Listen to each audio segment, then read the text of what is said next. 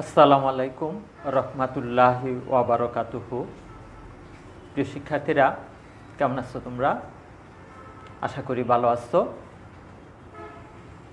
আমিও ইনশাল্লাহ ভালো আছি। আমি মোহাম্মদ সাজ্জাদ হাসান মাহমুদ, সহকারী শিক্ষক, সরকারি কারিগরি উচ্চ বিদ্যালয়, বেগমগঞ্জ, নোয়াখালী। আজ আমি অষ্টম শ্রেণির গণিত বিষয়ের দশম অধ্যায় বৃত্ত নিয়ে তোমাদের সাথে আলোচনা রাখব। প্রিয় শিক্ষার্থীরা, তোমরা জানো বৃত্ত কাকে বলে?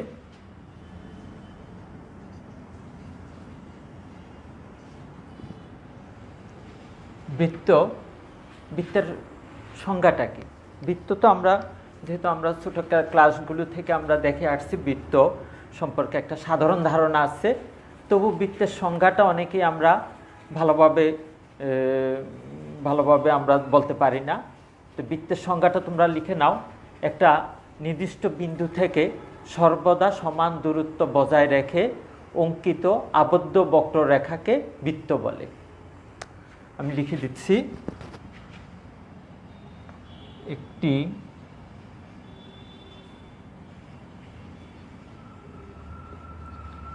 নির্দিষ্ট বিন্দু থেকে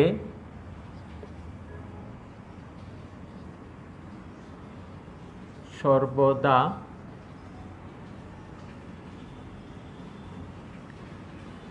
সমান দূরত্ব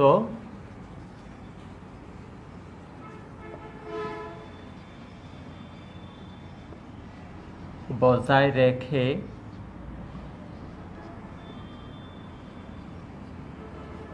অঙ্কিত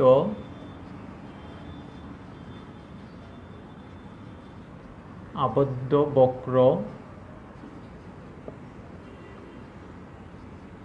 রেখাকে বৃত্ত বলে আমরা যদি একটা চিত্র আঁকি। এটা হলো একটা বৃত্ত। একটা নির্দিষ্ট বিন্দু থেকে সর্বদা সমান দূরত্ব বজায় রেখে অঙ্কিত আবদ্ধ বক্ররেখাকে বলা হবে বৃত্ত। আশা করি শিক্ষার্থীরা বৃত্তের সংজ্ঞাটা তোমরা লিখতে পেরেছ, লিখে নিয়েছ। আমরা এই বৃত্তের মধ্যে এবার কিছু বিষয় আছে যেগুলো বৃত্তচাপ যা, বৃত্তের যা কাকে বলে। বৃত্তের যা হলো, এই বৃত্তের পরিধিস্থ যে কোনো দুটি বিন্দুর সংযোগ রেখাংশকে বৃত্তের যা বলে।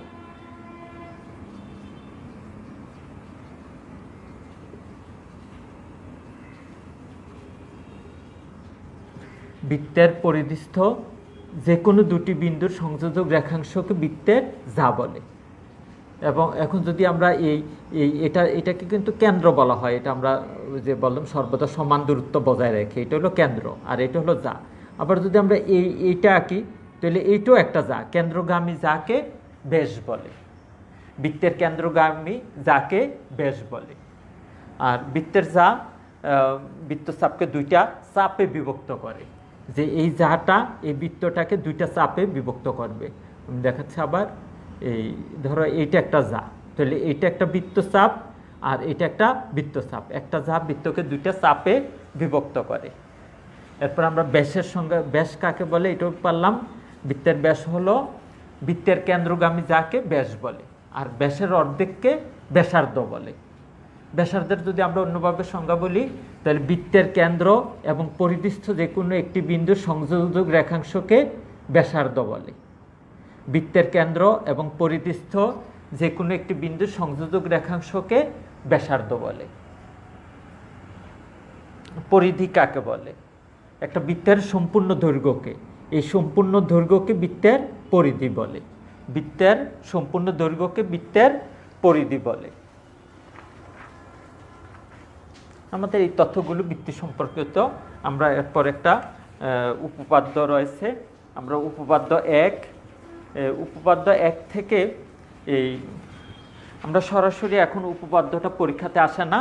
আমরা অনেক সময় এই এই পরীক্ষাতে এই আগে তো আমাদের বৃত্তের মানে যে কোনো উপপাদ্য সরাসরি থাকতে উপপাদ্যটি প্রমাণ করো। তখন আমরা এই মুখস্থ করে লিখতে পারতাম। এখন কিন্তু আমরা বইয়ের অংশটা মুখস্থ করব এবং সৃজনশীল আকারে আমাদেরকে কিন্তু এখন লিখার মতন অভ্যাস তৈরি করতে হবে।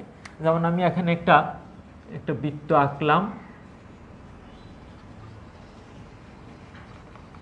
এই বৃত্তটা থেকে একটা এই উকেন্দ্র বিশিষ্ট বৃত্তে বি একটি যা আমরা এখানে লিখলাম উ কেন্দ্র বিশিষ্ট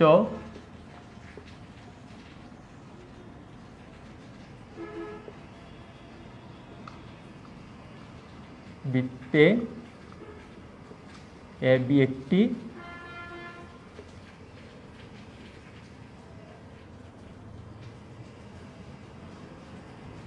এ বি একটি।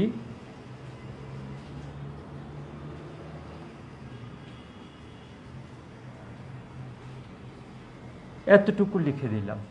এরপর আমি এইটো এখানে আমি এইটাও এঁকে দিলাম। কিন্তু এটা আমি এখন বলব না, আমার উদ্দীপকে বলব না। এখান থেকে আমি একটা সৃজনশীল তৈরি করব। আমরা এখানে কতে, এখান থেকে তিনটা প্রশ্ন নেব। কতে আমি যে কোনো একটা সংজ্ঞা নিতে পারি, বা অন্য যে কোনোভাবে আমরা এইটা থেকেও আমরা একটা কোনো তথ্য দিয়েও আমরা ইয়ে করতে পারি আঁকতে পারি। আমরা একটা সংজ্ঞা ধরো এরকম আসলো, বৃত্তের।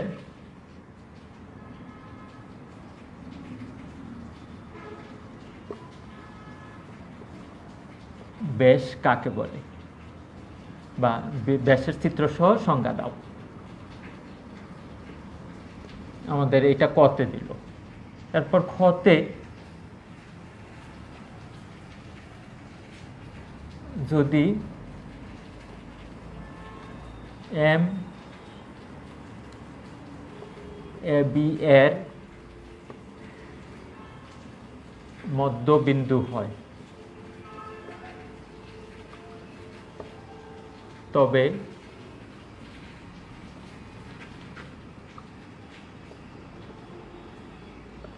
প্রমাণ করো যে ওয়েম লম্ব এবি লম্ব এবি এরপরে গতে হলো, গতে আমরা ঠিক একই ইয়ে থেকেই নিতে চাচ্ছি।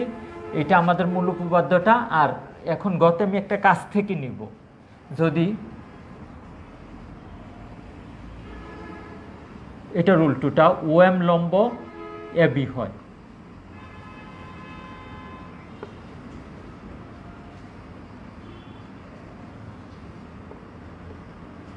তবে প্রমাণ করো যে এম সমান বিএম। আমরা এই সৃজনশীলটা নিয়ে তোমাদের সাথে আলোচনা করব।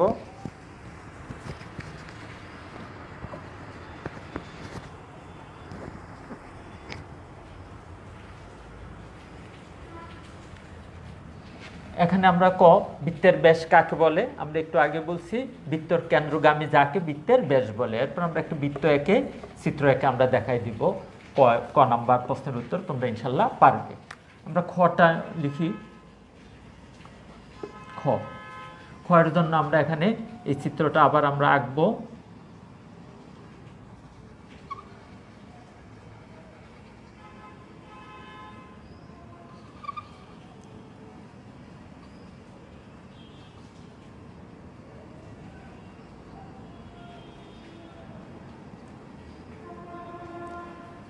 আমরা এই চিত্রটা এখানে আঁকলাম। একে আমরা ওই যে প্রথমে আমরা সাধারণ নির্বাচন, বিশেষ নির্বাচন বিশেষ নির্বাচন যে অংশটা এখানে আমরা লিখব আমরা ঠিক এই কথাটাই এখানে লিখব। ও কেন্দ্র বিশিষ্ট প্রথমে লিখলাম, ও কেন্দ্র একটা কাজ করে আমরা এখানে লিখি। যদিও এটা নিচে লিখব, তারপর আমরা এখানে এই জায়গাটা লিখতেছি, ও কেন্দ্র বিশিষ্ট বৃত্তে।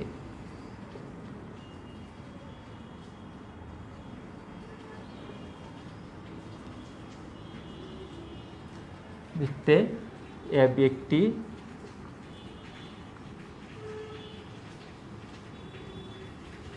যা এরপর আমরা এটা করতেছি, এই কথাটা লিখব। যদি এম এ বি এর মধ্যবিন্দু হয়, তবে প্রমাণ করতে হবে। যদি এম এ বি এর মধ্যবিন্দু হয় তবে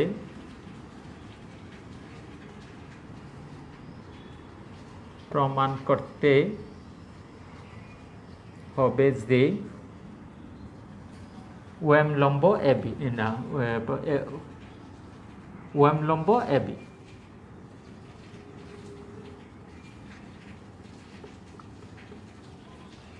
এটা প্রমাণ করার জন্য আমরা অতিরিক্ত একটু অঙ্কন করতে হবে। এটা হলো উ কমা এ এবং উ কমা বি যোগ করি। অঙ্কন। উ কমা এ এবং উ কমা বি যোগ করি।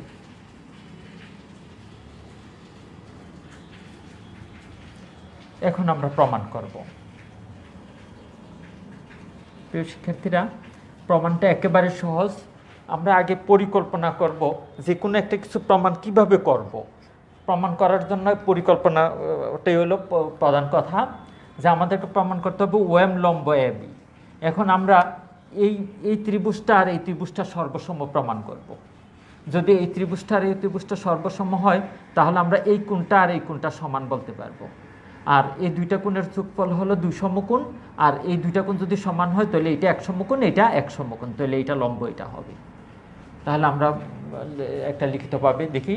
প্রমাণ, যেহেতু আচ্ছা আমরা একবারে ডাইরেক্ট লিখি, ত্রিভুজ উ, এ, এম এবং ত্রিভুজ উ, বি, এম বা ত্রিভুজ উ, এম, এ। ত্রিভুজ উ, এম, এ এবং ত্রিভুজ উ, এম, বি, এ বা এর মধ্যে এ এম সমান বি এম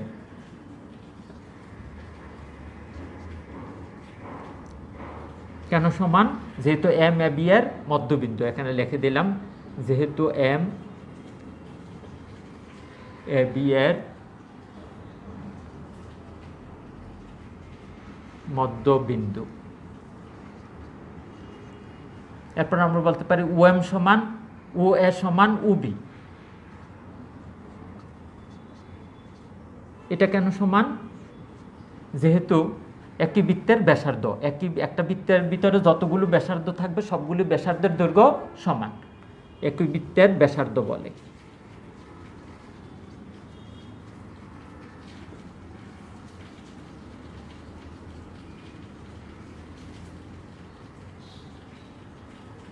আর এখানে ওএম হলো উভয় ত্রিভুজের সাধারণ বাহু। তাহলে আমরা লিখতে পারি ওএম সমান ওএম। তাহলে একটা ত্রিভুজের তিন বাহু, অপর একটা ত্রিভুজের তিন বাহু সমান হলে ত্রিভুজ দুটি সর্বসম। তাহলে আমরা বলতে পারি সুতরাং ত্রিভুজ ও এম এ সর্বসম ত্রিভুজ O M B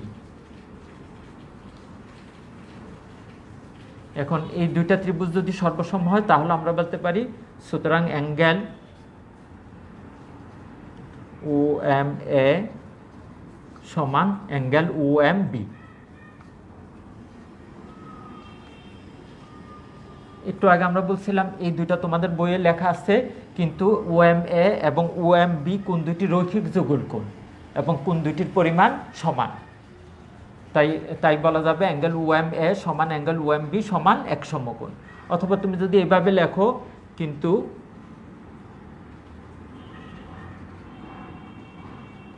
angle O M A যোগ অ্যাঙ্গেল ও এম বি সমান দুই সমকোণ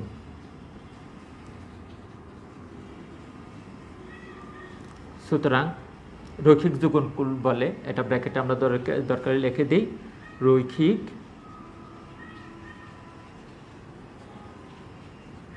যুগল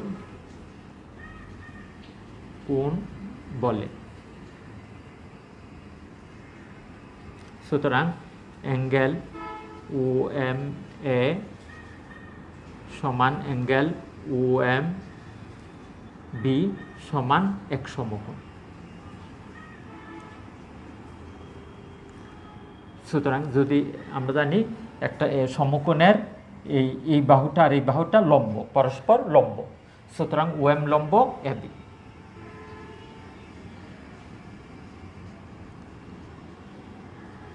প্রমাণিত।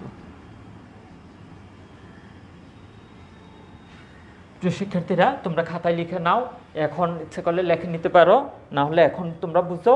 এই, পরবর্তীতে তোমরা ভিডিওটা যদি ভালো, আবার দেখো, তখন ধীরে ধীরে ধীরে ধীরে বসে লিখতে পারবে।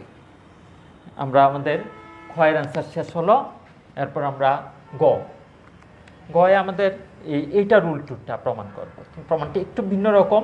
আমাদের বলছে, যদি ওয়েম লম্বা অ্যাবি হয়, তবে প্রমাণ করতে হবে না হ্যাঁ ওয়েম লম্বা অ্যাবি হয়, তবে প্রমাণ করতে হবে এ এম সমান বি এম তাহলে আমাদের এই জায়গাটা আমরা মুছে ফেলি। অঙ্কনটাও ঠিক থাকবে। আমরা এখানে যদি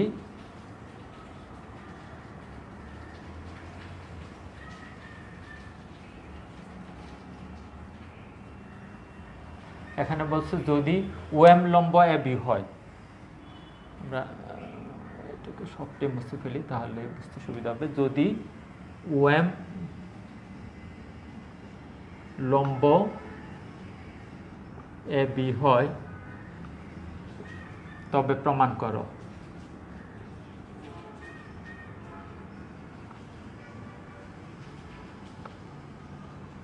তবে প্রমাণ করো যে এম সমান বিএম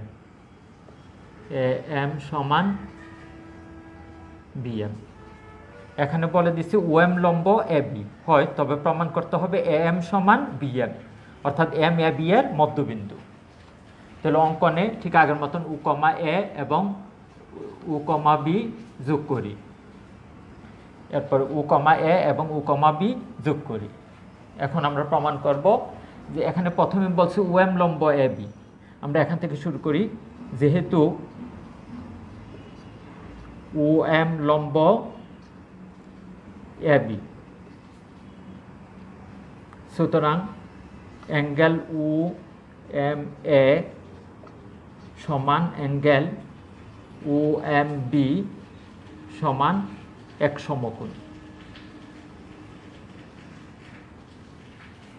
তাহলে এইটা এক সমকোণ এটা এক সমকোণ। তাহলে এটা একটা সমকোণী ত্রিভুজ এটা একটা সমকোণী ত্রিভুজ। তাহলে আমরা লিখতে পারি এখন ত্রিভুজ ও এম এ ত্রিভুজ চিহ্নটা দিলেও হবে, না দিলেও হবে। ত্রিভুজ ও এম এ ও ত্রিভুজ ও এম বি সমকোণী।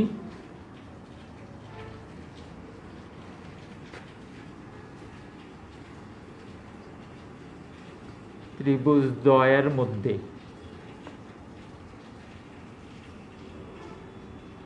ওএম এ এবং ওএম বি সমকোণী ত্রিভুজ দ্বয়ের মধ্যে।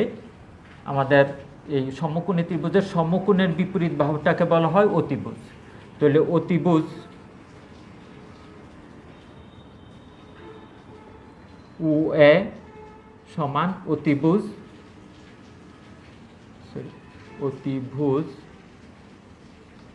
ওবি এটা কেন সমান? ও আর ওবি আমরা আগেও বলছি একই বৃত্তের ব্যাসার্ধ বলে।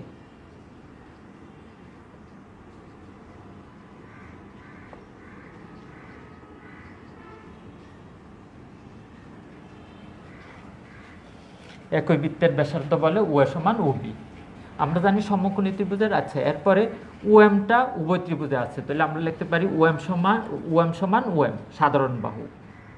ওএম সমান ওএম এখানে হলো সাধারণ বাহু। হ্যাঁ যে কথাটা বলছিলাম সমকোণী ত্রিভুজের অতিভুজ এবং এক বাহু। অপর একটা সমকোণী ত্রিভুজের অতিভুজ এবং এক বাহু সমান হলে ত্রিভুজ দুটি সর্বসম তাহলে আমরা এখানে বলতে পারি, সুতরাং ত্রিভুজ ও এম এ সর্বসম ত্রিভুজ ও এম বি এখন এই দুইটা ত্রিভুজ যদি সর্বসম হয়, তাহলে আমরা লিখতে পারি যে ও এম সমান বি এম সুতরাং এ এম সমান বি এম প্রমাণিত।